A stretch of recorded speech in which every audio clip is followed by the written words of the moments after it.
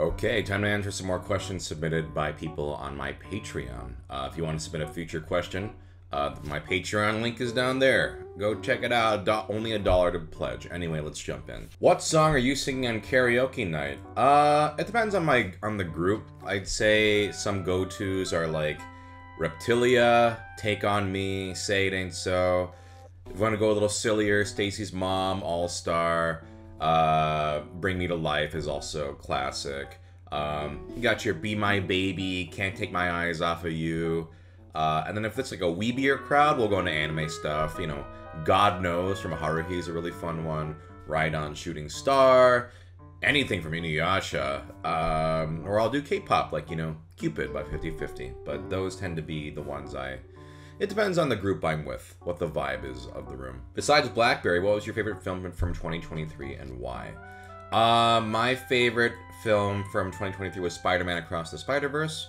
Although I also really liked John Wick Chapter 4 and Teenage Mutant Ninja Turtles Mutant Mayhem. In your opinion, what differentiates a good board game rules explanation from a bad one? The big thing is you don't need to uh, go through everything like methodically.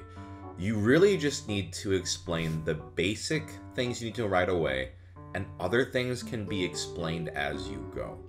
Uh, I think if you front load with too much, uh, it, it can just get overwhelming. If I'm breaking down a new board game with my friends, I will go through the rule book and we'll go through it together. But then I'm very good at like breaking down exactly what, um, like the key things you just need to know for like a round, a round or something like that. I mean, and and the best board game manuals are ones where it just clearly just explains the basics uh, and then you know gradually introduces you to like little nitty gritty details.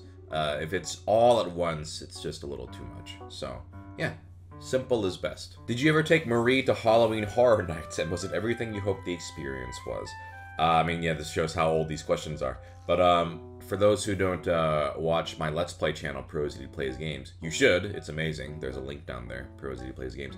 Marie is one of our frequent guests, and uh, she uh, is terrified of all horror games. And we did take her uh, and our friend Angel to Halloween Horror Nights. And um, I have never seen a person more terrified of existence. Uh, she, it was way funnier to experience Halloween Horror Nights at Universal with her in front, it, it, it's like everything everything in the world is scary to her, and so the rest of us were just cackling with laughter. Um, I'm I'm the type that I don't actually get very scared at those things. I'm just more like, oh wow, that was really well done. Oh hey, that's really cool. Oh, that was a pretty successful scare. I'm not the person you want in the front. Like I'm just like appreciating the craftsmanship, but not actually getting scared. Um, so it was everything I hoped the experience would be. What was it like filming the Fix It Man segment for Game Changer? Uh, I mean, Sam literally just was like, hey, uh, I need you to film a thing with me. Will you come do it? I was like, sure, why not? And so I went and they had a teleprompter and the, I won't spoil the episode, but they had the thing I was recording with. Uh, and he told me basically the idea of what uh, the episode was going to be. And he was like, Yeah, we want this to be really long and boring and almost monotone and like awkward. And I was like, Well, I can do that. And so I think I ran through it like twice.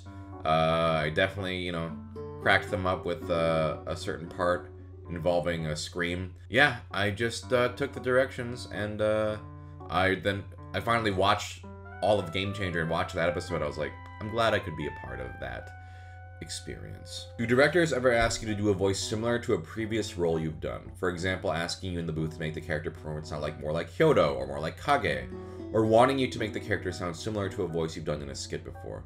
Um, sometimes they will like if they've watched my demo reel, which has a bunch of my characters, then they sometimes will go, "Oh, hey, we're kind of looking for something similar to this character voice." but it's usually not like uh, like they want a copy of it. It's just like, hey, uh, something in this range, and I'll usually go, okay, basing that, taking that as a reference, I'll go with my gut. I go with my gut. I'll give them something, and we can always tweak it from there. But yeah, sometimes uh, a director, if they've if they've seen my demo reel, will ask for something like that as a baseline to start. Fellow Michigander here, what did you get, or what did you get on your ACT slash PSAT? Um, so I don't, I, I don't know if these score differently now, but back in my day, the ACT was out of 36. I scored a 35, uh, which was quite nice. Uh, I mean, I worked my ass off uh, because it basically like let me get a 90% full ride to Michigan State. Uh, so that was very useful. Uh, the I took the SAT. I think I got like 2170 out of 2400. Um, not as good as the ACT, but still, I did both. But uh, yeah, that was those were my test scores. Now I don't know how they score them. It, has been forever. Will you be starring in any more Dropout shows? Uh, I am going to be in the new season of Um, um Actually. Uh, and then other than that, only time will tell. Come on, Sam, hit me up. When you play video games at home all by yourself, do you voice some of the characters just for fun? Oh, absolutely. Um, the game I did that recently with was The Great Ace Attorney. I was definitely like kind of reading some lines out out for fun. Um, any any type of visual novel game like that with like really fun characters, yeah. Oh, absolutely, I'll read the dialogue out loud.